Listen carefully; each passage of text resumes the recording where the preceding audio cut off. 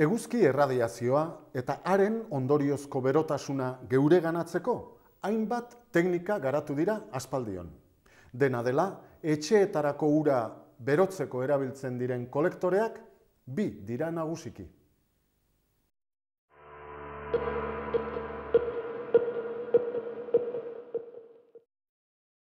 Kolektore zapala funtsean berotegi koskor bat da. Hau da, ongi isolaturiko kasa bat kolektorearen euskarri lana egiten duena, gainean beirazko estalkia duena eta barnean berotasunaren surgatzailea bera. Beirak eguzki erradiazioari sartzen uzten dio, baina ez ateratzen. Islatutako bero erradiazioaren uin luzera horretarako txikiegia baita. Behin eguzki erradiazioa sartu ondoren, barnean den kobrezko xafla beltzez margotua jotzen du. Xafla beltz hori da eguzkiak berotzen duena, eta berotasun hori, xafla atzean, kontaktu estuan doan zirkuitu hidraulikoari iragaten zaio, eta ondorioz, handabilen fluido bero eramaileari.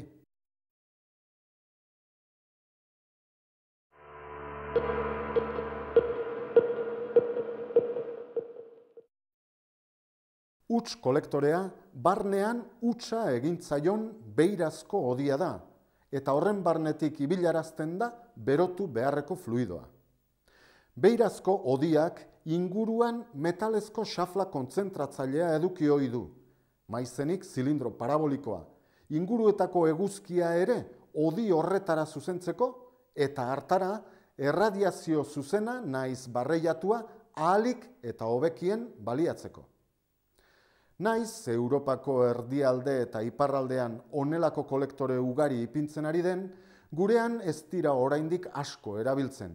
Kostimendu erlazioa oraingoz behin kolektore zapalena baino eskasagoa delako. Eta iraupena ere ezin delako bermatu, bereziki odibarneko utxarena.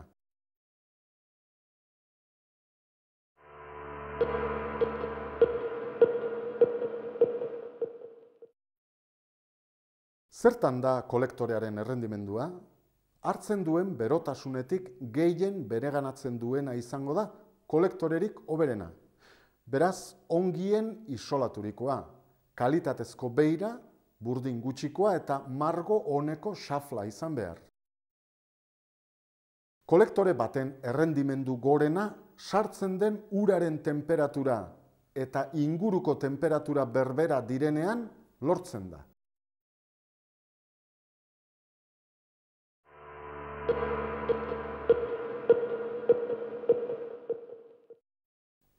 Uraren mugimendua zirkuituan zehar, gravitatez, naiz mekanikoki eragiten da. Lehen kasuan, termosifoizko zirkulazioa erabiltzen da. Beroa metatuko duen ontzia eguzki kolektorea baino gorago ipintzen da, eta eguzkiak berotutako urak dentsitate txikiagoa duenez, gora jotzen du, ontzira joaten da, eta haren behealdean dagoen urrotzagoari eguzki xaflaren behe alderantz bultza egiten dio. Honela sortzen den ur zirkulazioari esker, ura gero eta gehiago berotzen da. Horrelako zirkuituak duen abantaila nagusia sinpletasuna da, merkea izatea aparte. Hala ere, instalazio txikietan baizik ez da erabiltzen. Esan bezala, bero metagailua kolektorotik gora ipini behar delako. Instalazioa haundixiagoa denean, zirkulazio behartua erabiltzen da.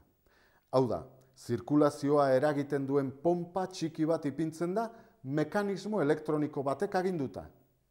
Horrek agintzen dio, energia irabazteko aukera dagoenean eta orduan soilik martxan jardadin. Horretarako, argitasun detektagailuak eta termostato diferentzialak erabili dira.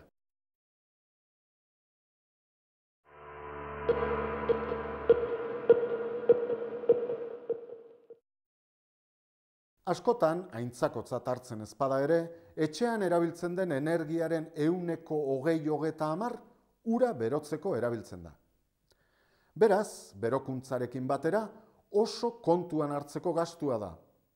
Aurreratu bezala, eguneko eta pertsonako berrogeta amar irurogei litro ur bero behar direnez gero. Honelako sistema ipintzen denean, berreun, irureun edo bosteun litroko ontzia ipini behar da. Hau da, eguzki energia termikoaren erabilpenik edatuena.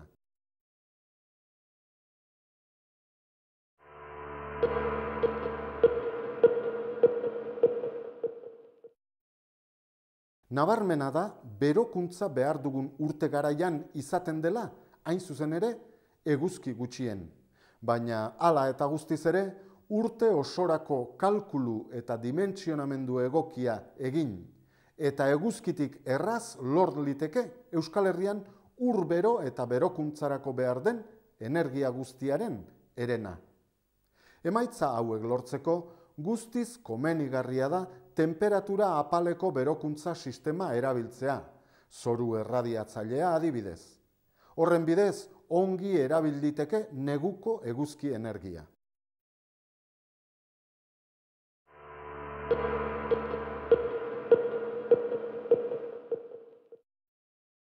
Osasun baldintzak direla medio, igerilekuetako uraren hainbesteko bat egunero berritu behar izaten da instalazio publikoetan. Horrek esan nahi du, urbero asko behar dela egunero, hogeita sei, hogeita bederatzi gradu zentigradu bitartean.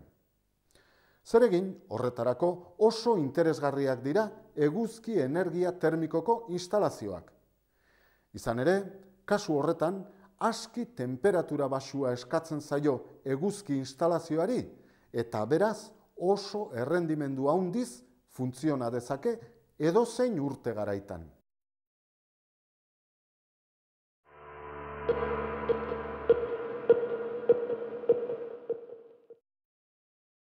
Asko dira urbero ugari behar duten prozesu industrialak.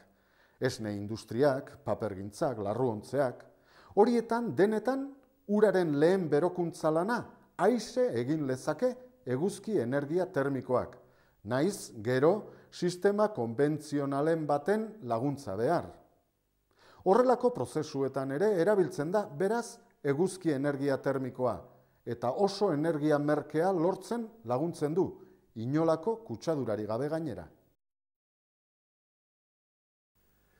Amaitzeko esango dizuet ez dela erraza oso ausarta izanik ere, eguzki energia termikoaren etorkizunak nondik joko duen esatea eta are gutxiago asmatzea.